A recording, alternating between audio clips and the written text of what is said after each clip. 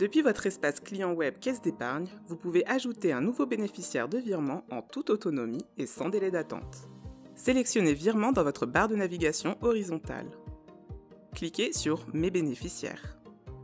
Choisissez ensuite Ajouter un bénéficiaire. Vous pouvez saisir l'IBAN manuellement ou bien choisir un fichier dans votre ordinateur. Indiquez ensuite si vous êtes titulaire de ce compte, puis cliquez sur le bouton Ajouter à ma liste de bénéficiaires.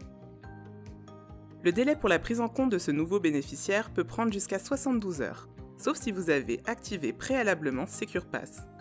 Dans ce cas, il vous est demandé de saisir votre code SecurePass. La prise en compte est alors immédiate et vous pouvez dès à présent effectuer un virement vers ce nouveau bénéficiaire en cliquant sur Fermer.